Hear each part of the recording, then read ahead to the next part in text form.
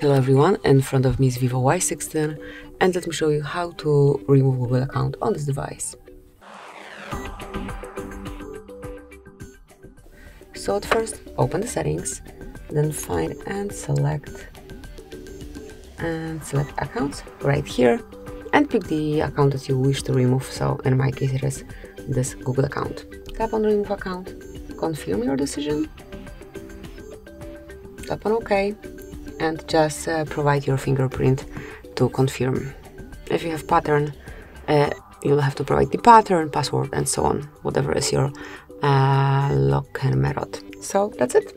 Then whenever you wish to uh, add Google account again, just uh, do it in the same panel, just tap on add account and provide all the data uh, right here, like email address and password. So that's it, that would be all. Thank you for watching. Please subscribe our channel and leave the thumbs up.